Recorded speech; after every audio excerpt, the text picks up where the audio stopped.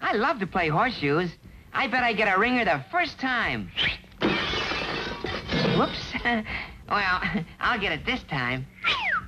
Oh, eh, yeah, but what are you trying to do, son? I'm trying to play horseshoes, Dad. Here, let me have those. Wow! How'd you ever learn to do that? Practice, Junior, practice. I smell a moral coming up. Correct. Practice makes perfect, which brings to mind a fable entitled The Coyote and the Jackrabbits. Most rabbits are so poor that they're forced to live in a hole in the ground. But Hasty J. Rabbit is not most rabbits.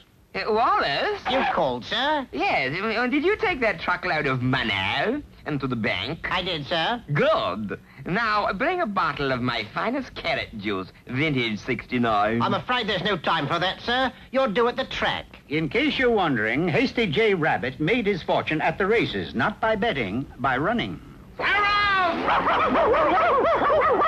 Seven days a week, Hasty outran the dogs, but years of this killing pace began to take its toll. Oh, I've had it. I can't run another step. Without crossing the finish line, he was finished. Hasty, your racing days are over unless you go away for a nice long rest. It's either that or an operation. Come now, Doctor. Let's not be splitting hairs. So off they went, deciding that the peaceful quiet of the desert would be just the thing. Wallace, uh, my carrot juice. Sorry, sir. They don't grow carrots in the desert. But they did grow coyotes, big, mean ones. I'm your next door neighbor. Hasty considered this to be a rather strange way of greeting one's neighbor, and he became more convinced of this when, during his bath, Don't forget to wash behind the ears, neighbor.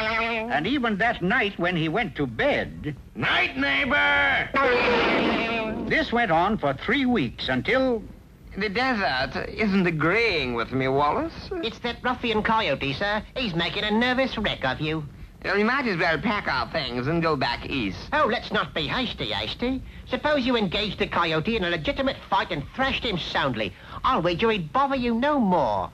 This sounded logical, so Hasty instructed his faithful servant to deliver the challenge. Tis done, sir. He agrees to meet you in the ring two weeks from today. Is that all he said? No, he told me to give you something. Then give it to me. Very well, sir. Early the next morning, training got underway. I'm afraid this is all a waste of time. I'll never be able to beat that coyote. You will with practice, sir. Just leave it to me. Now, this is called road work. When I fire this pistol, you take a brisk five-mile jaunt. Ready? Get set. Sorry about that, sir. This time, I'll use a water pistol to start you off. Oh, good idea. On your mark, get set. Hard water. All right, so road work is important. But be careful this time. Oh, no need to worry, sir. This time, I'll use my finger instead of a gun. Ready? Uh, No, no, but go ahead anyway. On your mark, get set. By this time, Hasty had progressed far enough to take on a sparring partner. All right, sir. Now get in there and... Don't point your finger. Sorry, sir. I merely wish to instruct you to pretend that your sparring partner is the coyote. Now, good idea. Hiya, neighbor. What do you mean pretend? That was the coyote. My apologies, sir. He was the only partner I could get. Look, every time we try this road work bit, I get hurt. This time you do the running and I'll fire the gun. Oh, you can't do that, sir. The gun isn't loaded. Really?